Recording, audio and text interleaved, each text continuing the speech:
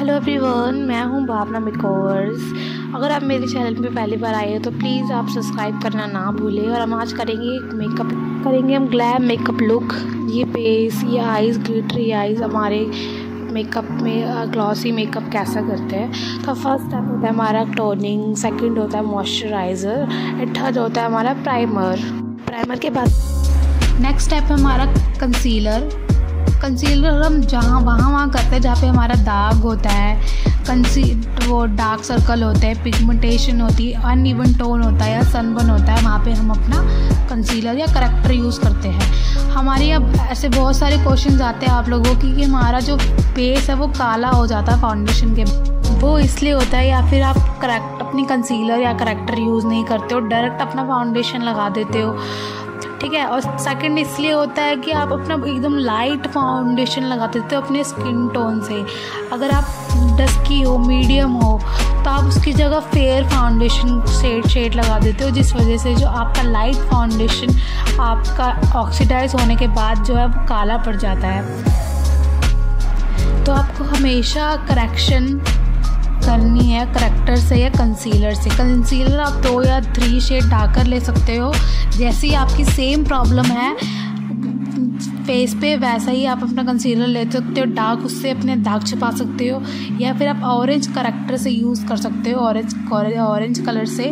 और उसके बाद आप उसको न्यूट्रलाइज करोगे अपने पीच कलर से जो आपका स्किन है स्किन स्किन का कलर है फेस उससे आप उसको हाइड करोगे, उसके बाद आप फाउंडेशन लगाओगे।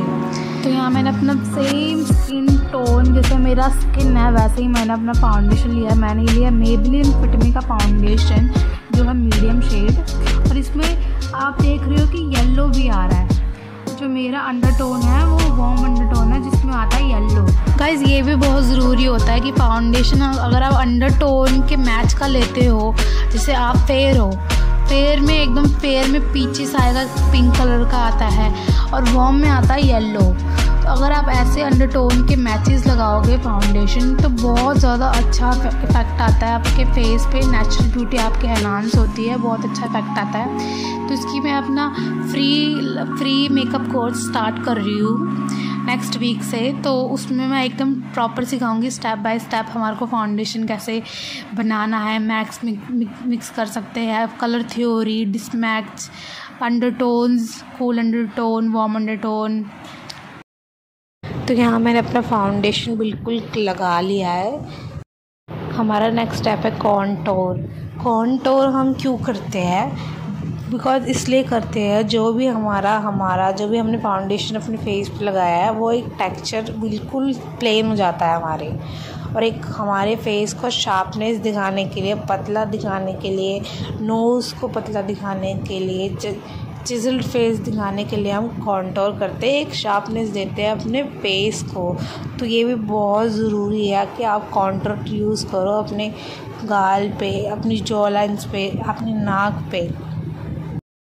तो मैंने यहाँ पे कॉन्टोर कर लिया है। ये भी मैंने स्विस ब्यूटी की पैलेट ली है। उसमें से मैंने कॉन्टोर लिया है। तो आप देखोगे कि नाउस पे और चीक्स पे और जॉ लाइन पे तो यहाँ मैंने ब्यूटी ब्लेंडर्स पे से सब ब्लेंड ब्लेंड किया आपको हमेशा टू वर्ड्स मतलब ऊपर की तरफ़ ब्लेंड करना है अपने चीक्स एरिया पे। और जॉ लाइन पे अपना करना डाउनवर्ड्स की ओर मतलब नीचे नीचे की ओर ब्लेंड करना है। और चिक्स पे हमेशा टू वर्ड्स पे और नोज़ पे को नॉर्मली जैसे हम ब्लेंड करते हैं। तो हम करेंगे ब्लेंड ब्लेंड ब्लेंड उसके बाद हम करेंगे कंसीलर कंसीलर लगाएँगे। कंसीलर और हाईलाइटर में कई फ़र्क ये होता है कि हाईलाइटर जो होता है, वो कॉन्ट्रोर के बाद लगता है, वो कंसीलर ही कहलाता है। हाईलाइटर इसलिए कराता है क्योंकि जहाँ पे हमारे को हाईलाइट करना है, अपना फेस दिखाना है, वहाँ हमारे को हाईलाइट करना होता है। वहाँ वहाँ हमारे को हाईलाइटर लगाना होता है, जैसे नोज़ के पास dark circle forehead jaw line पर थोड़ा सा तो ये भी मैंने स्विस ब्यूटी का लिया है।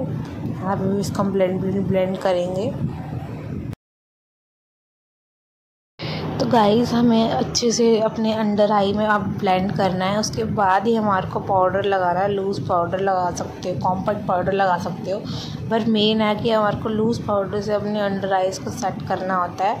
इसको हम ब्लेंड इसलिए कर लेते हैं बिकॉज़ हमारा जो लाइंस है क्रीज ना पड़े और आप बिना ब्लेंड करे अपना पाउडर लगा लोगे तो वो लाइन जो है वो केकी हो जाता है आपका बेस पूरा। तो आपको बहुत ज़रूरी है उसको पहले ब्लेंड करना, उसके बाद अपना लूज़ पाउडर लगाना। और लूज़ पाउडर लगाना भी ऐसे है कि आपको बहुत कम अमाउंट में लगाना है, उसको डस्ट ऑफ़ करना है, उसके बाद आपको लूज़ पाउडर लगाना है अपने पूरे फेस पे। क्योंकि गर्मियों का समर्स का टाइम है तो बहुत ज़रूरी है कि आप लूज़ पाउडर से अपना बेस को सेट करो।